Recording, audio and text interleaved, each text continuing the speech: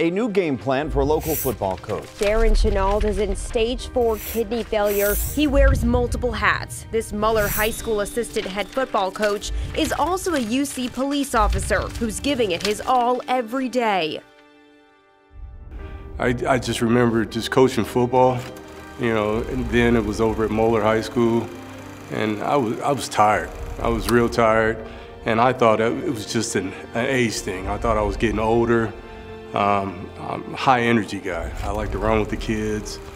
Um, I like to be involved with the kids, but I found myself out of breath, tired all the time. And I recall going home and, you know, going to the doctor and stuff like that. And I, I had issues with kidney failure a while ago, but I didn't know it was going to get up to this point right now.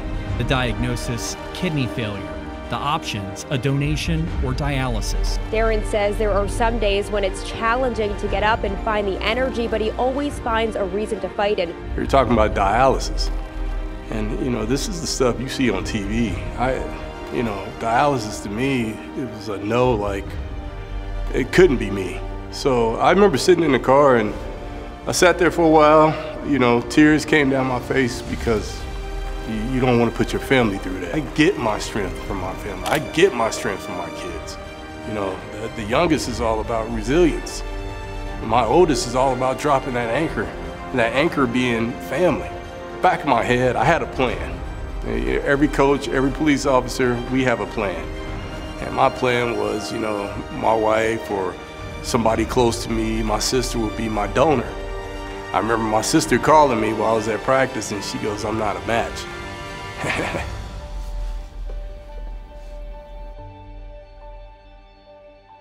You know, my uncle had got diagnosed a little bit after COVID. My uncle used to watch me when I was younger, and we just had a special bond. My dad was actually a basketball guy. My uncle's a football guy. When my dad used to work a lot, um, my uncle would watch me. So he was super young, he was like 17. Just thinking about everything he's done for me, introduced the game of football to me. He's been like an older brother. You know, our family is all about helping people.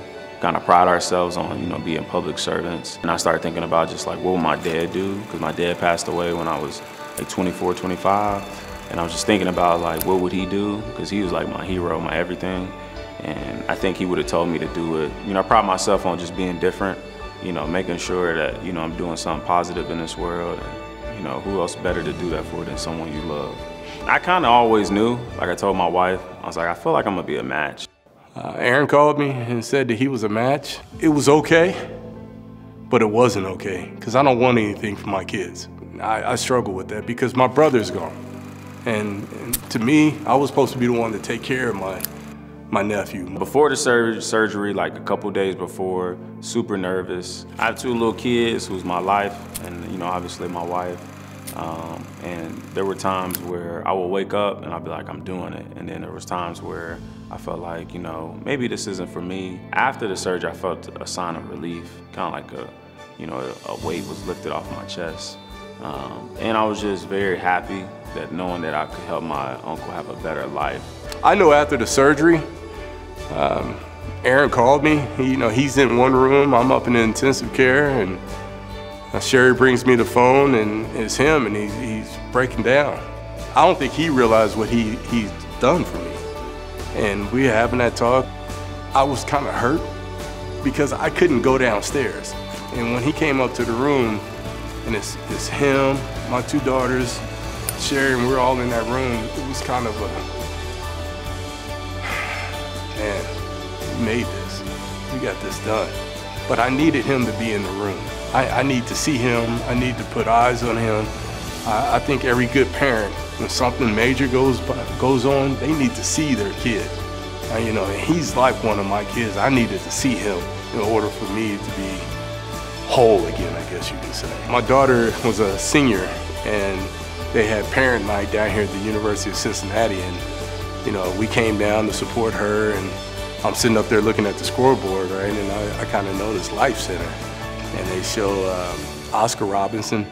I noticed Peyton Manning was up there. All these celebrities, so to speak, were up there. And I'm thinking, why ain't Arryn Chenault up there? You know, Arryn played football here. Arryn did this. And when you get down to it, he donated, donated me a kidney. And his name should be up there.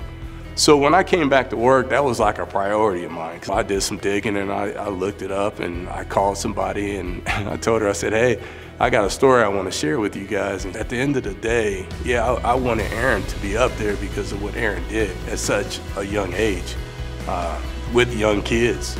And knowing what Arryn did, Arryn gave me a little bit more time. You know, I'm just happy that when I look into my cousin's eyes, um, Kennedy and Sydney, that, you know, I know that I, I helped them too, right? Because they're gonna have their father longer than I did. So, you know, that's always something I was thinking about too, like, what can I do to, you know, contribute to our family?